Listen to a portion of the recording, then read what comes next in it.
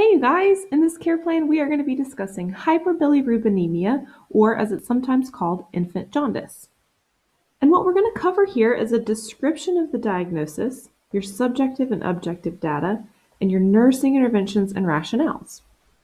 All right, so infant jaundice is actually the medical diagnosis for when newborns have an excessive amount of bilirubin in the blood or in the body. Um, and that is where you get that diagnosis of hyperbilirubinemia. Now, bilirubin is the yellow pigment that is left over when red blood cells break down. Now, normally, this byproduct, this bilirubin, is going to be absorbed and processed in the liver. Um, but newborns sometimes lack or don't have enough of the enzyme that's needed to help metabolize that bilirubin. Now, as the bilirubin builds up in the body and you get increased levels, you're going to see that in the skin and the eyes of the newborn. So the eyes and skin become yellow tinted. And it's really important to know that if we don't detect it and if it's left untreated, really high levels of this can cause brain damage. Now, there are some risk factors that are associated with this that can make uh, newborns more likely to develop jaundice.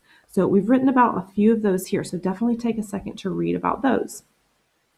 Now, the most important outcome for these patients is that they will have a bilirubin level that is within normal range.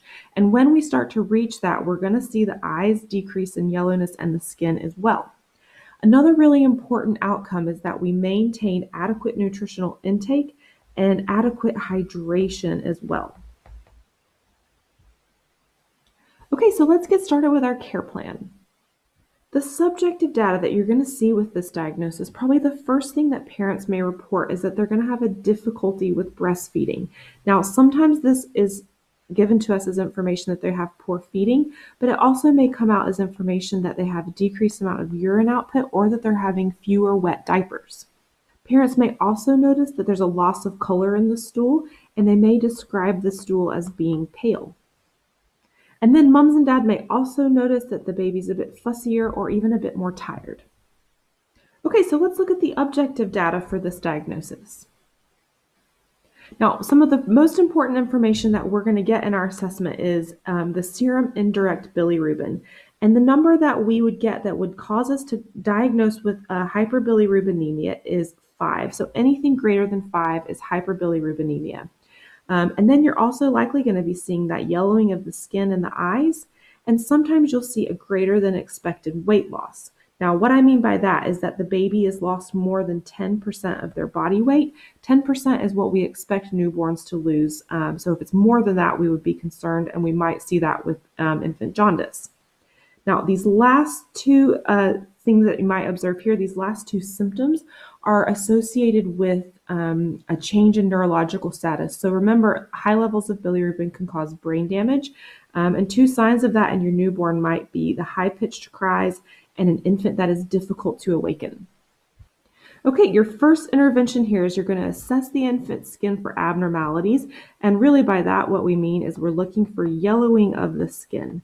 And the best way to do this is to lightly press on the center of the forehead and then just see what the color of the skin is when you do that. And it's also really important that you take a second to check the eyes. Continuing on with your assessment, you always want to be on the lookout for signs that this is causing any brain damage to the patient. So this is really all about a neuro assessment. Now again, remember the two symptoms that we mentioned for that. So the high-pitched cry and increased lethargy. But in more advanced stages of brain damage, you could also see, also see hyperreflexia and seizures occur.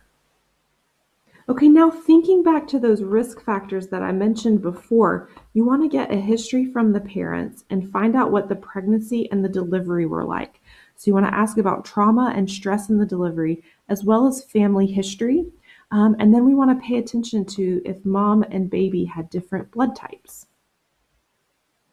Once we've determined that an infant does in fact appear jaundiced, it's super important that we find out what their actual bilirubin level is. So we're going to do that by obtaining either a serum or a transcutaneous bilirubin level.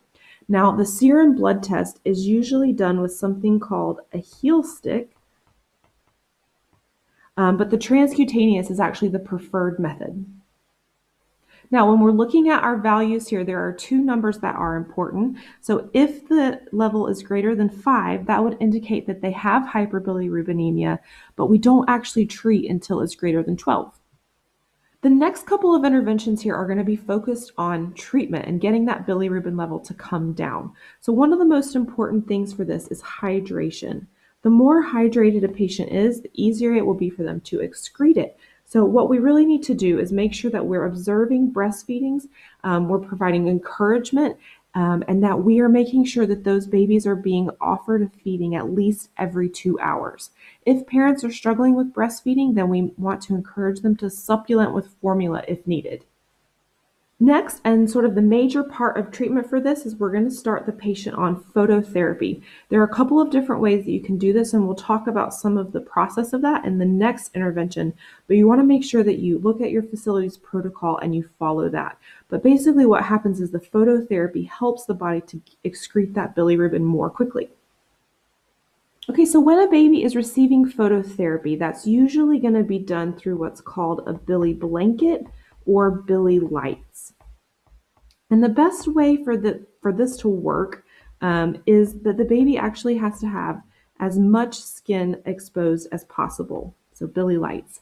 Um, and this means that they're only going to have their diaper on, and then we're going to make sure that their eyes are covered as well. So a really huge important part of our nursing intervention here is to monitor that infant's skin and their eyes to make sure they're protected and not becoming irritated by the light. Now, most of the time, this needs to be done at least every two hours, but again, follow your hospital protocol there. But keep in mind that this two hour check falls in line nicely with our encouraging to feed every two hours so you can cluster some of your care there.